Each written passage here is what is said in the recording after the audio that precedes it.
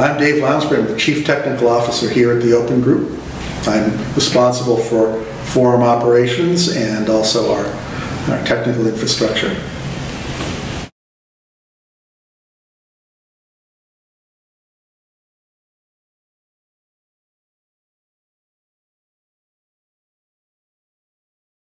Well, you know, he highlighted the need for transformation, and it's something we see in a lot of transformation projects where they're being called on to do more, meet the digital expectations of the, of the population, uh, while still accomplishing significant savings. And they started with some consolidation projects where uh, the one I, I, remember well here is that uh, they were consolidating multiple telecom providers and they got you know 125 million euro savings. They've reduced the number of data centers that they have and that they've now taken some of that and by consolidation of the telecom it enables them to standardize their security platform and thereby increase the security of, the, uh, of their uh, national infrastructure.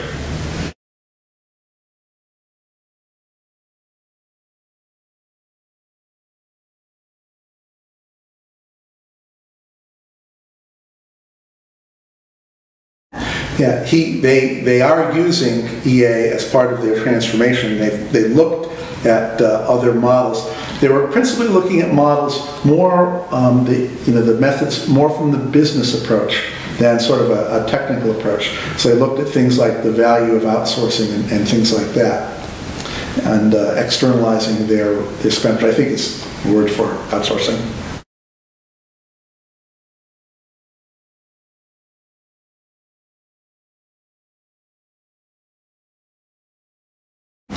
I thought he gave actually a very good answer on that because he struck the balance between um, transformation again and savings. And you know, he pointed out that uh, one of their big initiatives is how to meet the digital expectations of the young people in Spain who you know are, have a lot of unemployment, and they want to make all government available. I think by 2020, make it available through a, a digital third platform. And the way they're trying to do that is through um, not so much through uh, of staff, but through savings in infrastructure through consolidation, and then moving the staff around to higher value areas.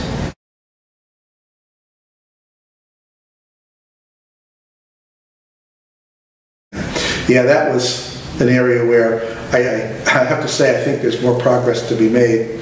Um, he said each unit had its own ERP for governance, enterprise resource planning system for, gov for governance, and that they were still working on how to consolidate all those and have a, a government-wide measure for uh, progress.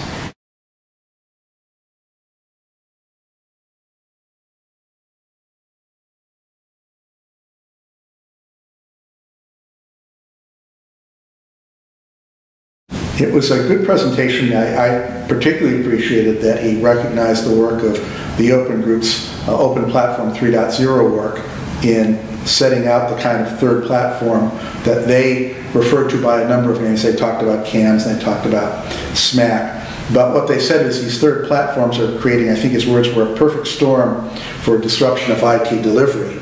And the interesting thing I took out of that was that a lot of it is looking at how these third platforms lower the barrier to people coming into the market and, and providing more competition. It's the, one of the five forces is you know, mark, barriers to market entry, and this was going to reduce that. I think this number was over 40% of the people they interviewed view, feared um, market entry by new competitors.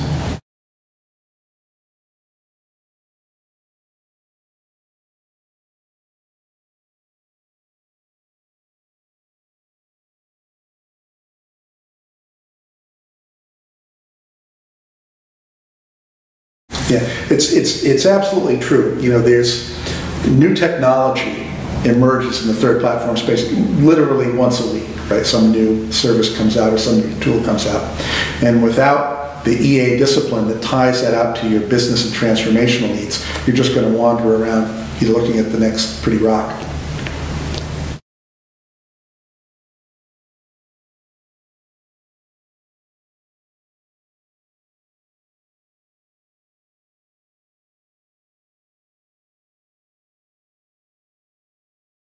Yeah, it was a good session. Um, uh, and these were, um, by and large, the panelists were younger architects, and they were talking about something I thought was very interesting and gave you a lot of hope for the um, IT profession because a lot of these were people who had come from a technical background, either I think two were from the software development. One was actually from the uh, infrastructure side of the house, you know, how we put together the servers and the wiring and things like that.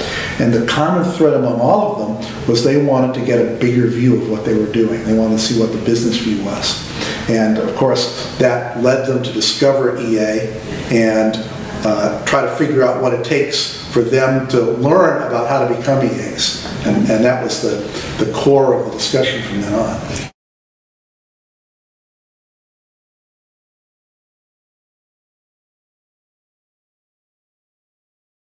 That is good, and one of the theme, themes that recurred throughout that was that it's really hard. There are a lot of barriers for a young person who's coming from a, a, purely technical or purely operational background. You know how they how they learn about the business, and it, it, it they all highlighted the need for mentoring for someone to actually introduce them to the other aspects of the business they're unfamiliar with.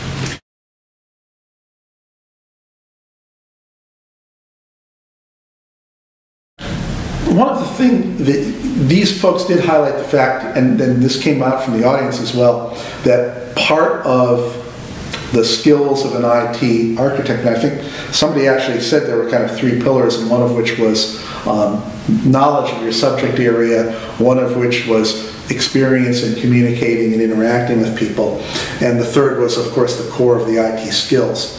And so you know, the, the issue about how you interact with business people uh, comes with age. And as someone with a technical background, I, I, I, expect to get it right one of these days myself, but it is one of those areas where that comes with a little more experience. And, and they also highlight the fact that they're not going to get that at universities, right? That has to come from direct exposure to the business.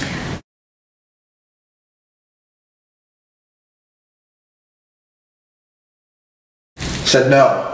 Right. Yeah, nobody nobody used EA tools in their job. Somebody said, "Well, we used one, and uh, uh, they, um, but they'd given it up."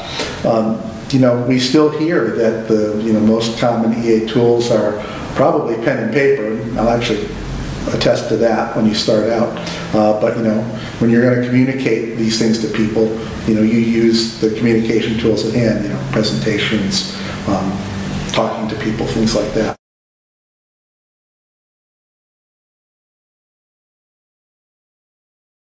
I think they have a great opportunity. The tools vendors have a great opportunity. I think the you know part of the opportunity is how you make it easy.